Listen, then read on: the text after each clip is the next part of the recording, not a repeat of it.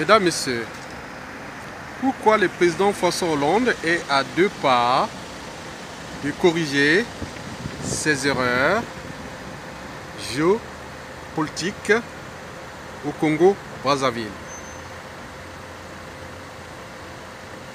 Oui, vous connaissez la pensée du Dalai Lama.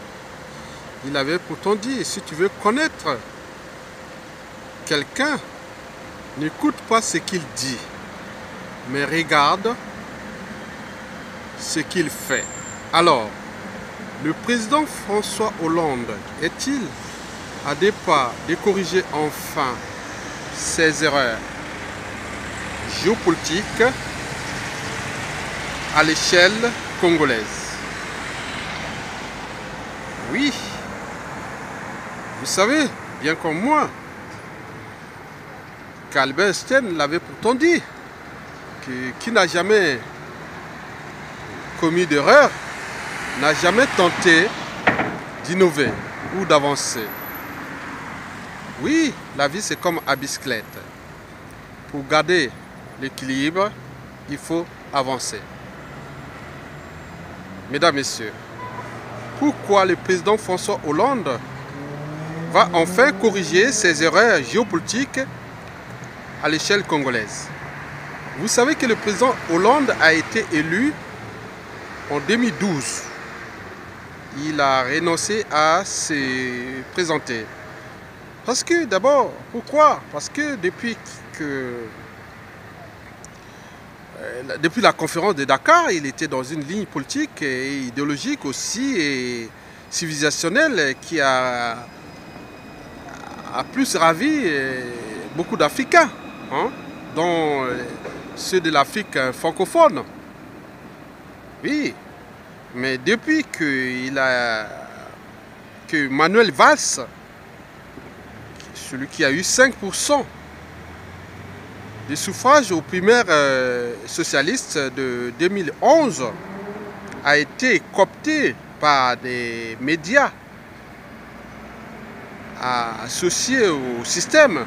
Donc c'est des réseaux d'influence, des groupes d'intérêt qui sont derrière Manuel Valls. Voilà. Donc ces groupes d'intérêt ont fait pression pour que Manuel Valls devienne Premier ministre de la France. La suite, on la connaît. La suite du quinquennat de François Hollande a été perturbée et le président n'est plus en mesure de se représenter. C'est une première.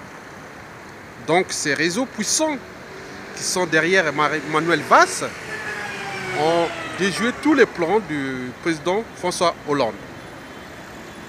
Voilà. Donc ces réseaux sont là. Vous savez que Anaxagore, le philosophe grec, l'avait pourtant dit. Des choses déjà existantes peuvent se combiner ou se séparer. Oui, les choses déjà existantes ne, ne se périssent jamais. Ils se combinent, ils se séparent. Et c'est d'ailleurs cette pensée d'Anaxagore que le, le savant euh, scientifique euh, Laurent Lavoisier a dit rien ne se crée, rien ne, se, ne périt, tout se transforme. Voilà, rien ne se crée, rien ne se perd, tout se transforme. C'était une reformulation de la pensée du philosophe grec Anaxagore. Rien ne se perd, rien ne se périt. Des choses déjà existantes peuvent se combiner et se séparer de nouveau. Donc les réseaux de, Manuel Valls, qui sont la plupart des réseaux qui sont associés au dictateur Denis Sassou Nguesso, qui ont agi, les groupes de pression. Mais qui dit demain, si Manuel Valls n'est plus là, et Sassou Nguesso aussi, qui ne dit pas, dit pas qu'il y aura d'autres réseaux d'influence France-Afrique ou de la France qui serait susceptible d'agir avec la nouvelle classe politique. Donc c'est un processus d'évolution. Mesdames, Messieurs, oui, tout a été chamboulé depuis que Manuel Valls est devenu Premier ministre de la France. Oui, bien sûr, tant mieux pour lui, qu'il est maintenant candidat.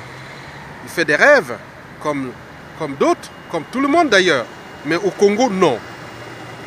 Bon, pour François Hollande, le départ de Manuel Valls peut être aussi une chance de résurrection. Oui, la résurrection.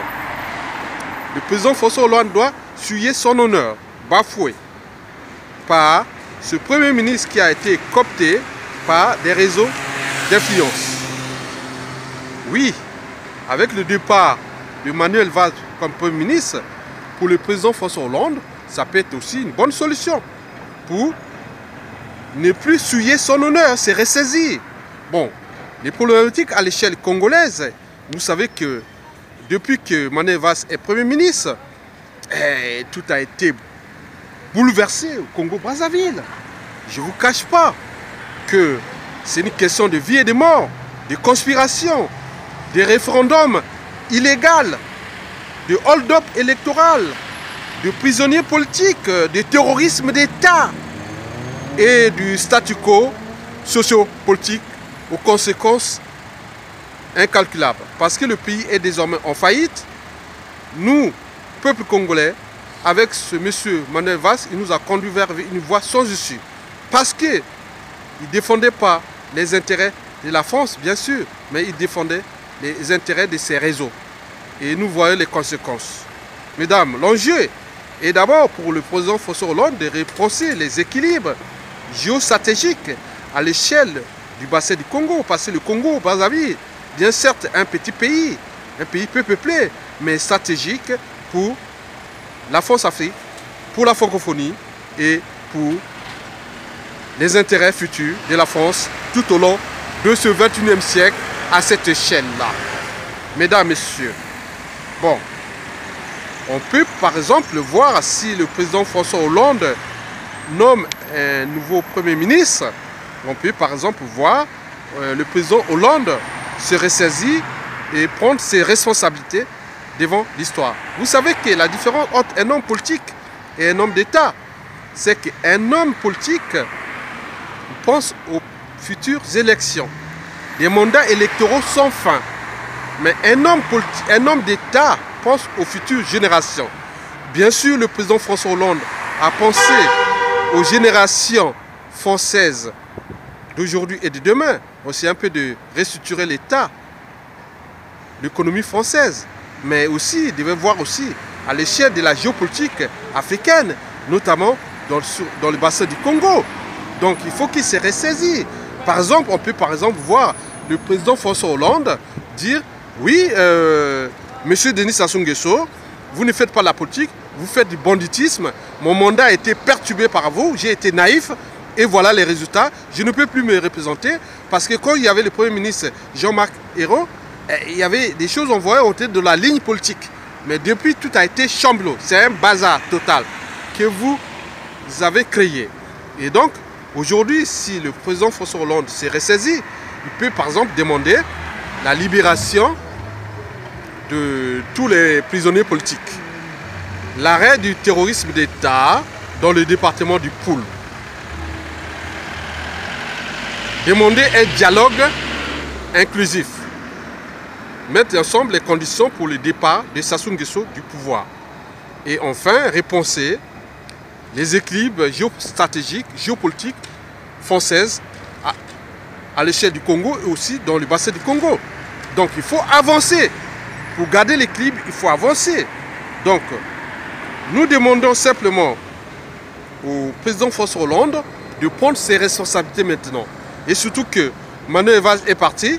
Bon, et après, il faut repenser ça, recorriger tout ça. Parce que une question de vie et de mort. Il y a des électeurs ici qui sont du bassin du Congo, ils sont franco-congolais, les enfants, les petits-enfants. Et les papas, leurs mamies, autres ont été tués là-bas volontairement. Voilà, ici les gens font des rêves, mais pourquoi pas là-bas? C'est ça, c'est... La vidéo porte à la fois des, des, des problématiques morales et aussi politiques, et surtout géostratégiques, aussi futures. Sachant que la résistance congolaise la dictature Sassou Nguesso est francophone. Elle est à Paris. Voilà. Et si demain, vous ne repensez pas ça. Et que cette résistance se retrouve dans un pays anglophone. Et le Congo pourra pas à pas se diriger ou devenir un pays anglophone. Donc la question du fonds CFA, de, de la coopération, de tout et tout sera remise en cause. Nous ne voulons pas ça. Nous voulons avancer. Donc pour avancer, il faut corriger les erreurs. Ce qui n'a pas marché. Pourquoi ça n'a pas marché? Parce qu'il y a eu des groupes de pression, des groupes d'intérêt qui ne pensent qu'à à leurs actionnaires, à leurs, euh, euh, intérêts particuliers, on peut dire ça. Donc, Manuel Evans était l'un des représentants de ce système. Donc, nous, pour nous, Congolais, on veut que le président François Hollande prenne toutes ses responsabilités devant l'histoire du Congo et aussi de sa famille, de sa conscience et autres. Parce que ces enfants qui ont des grands-pères, des grands-mères, des parents autres qui ont été souillés par la France Afrique, des papis et des mamies. Donc on ne veut plus ça. Nous devons construire une dynamique démocratique à l'échelle de l'Afrique francophone. Parce qu'elle regroupe actuellement 95% de régimes dictatoriaux contre seulement moins de 30% des régimes dans le bloc anglophone. Et c'est d'ailleurs le bloc anglophone qui est le plus dynamique euh, en Afrique noire. Mais pourquoi cela Donc, pour changer le monde, ce sont les idées, les pensées qui changent le monde. Voilà. Le monde que nous avons créé est un processus de notre pensée.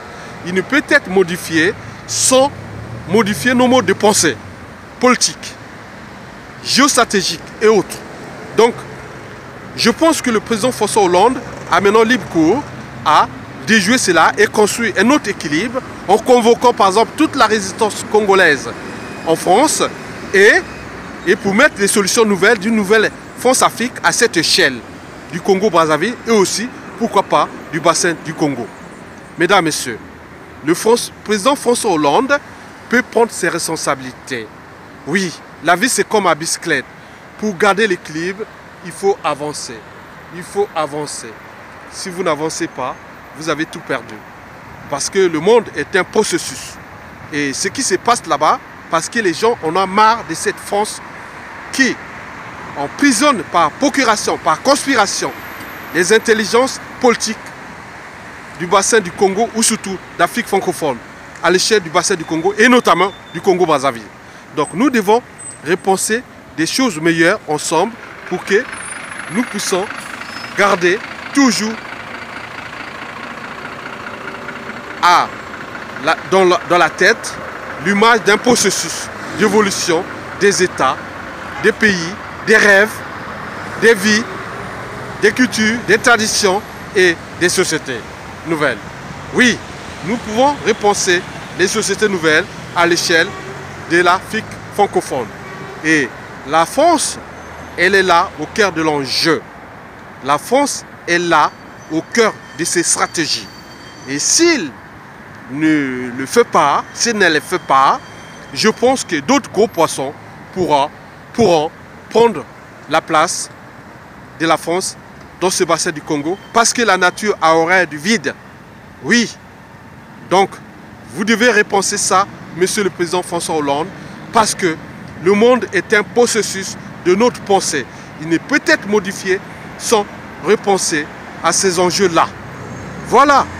Les enjeux sont les les enjeux, ou non, d'abord les problématiques, les problématiques des droits humains, des droits fondamentaux, des libertés fondamentales, de la condition humaine, de l'accès à l'eau, à l'énergie et à autres.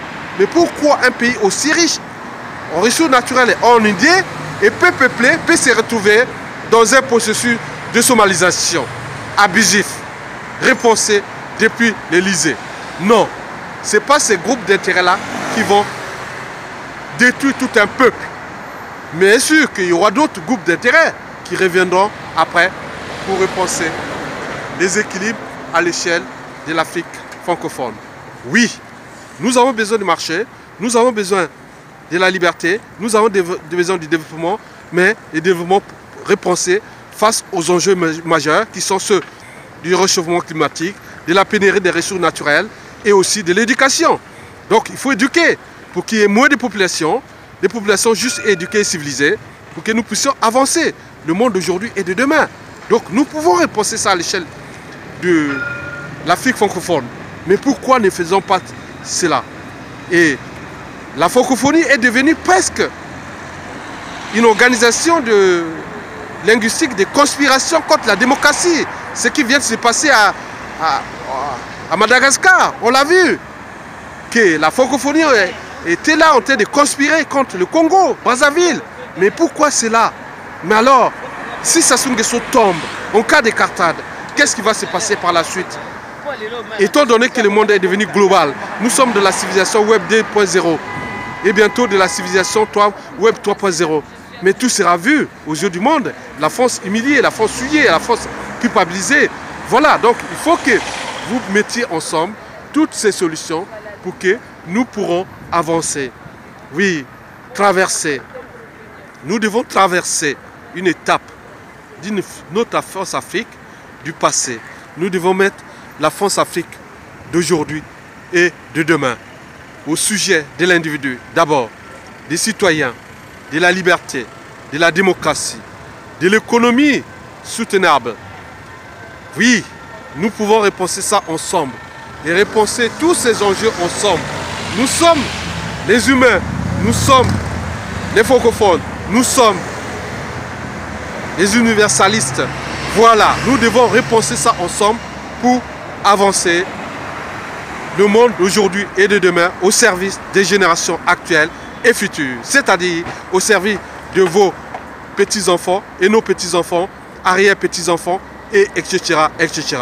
Nous devons laisser quelque chose pour l'humanité, dans le sens de la liberté. La liberté, c'est important. Mesdames, Messieurs, je vous remercie.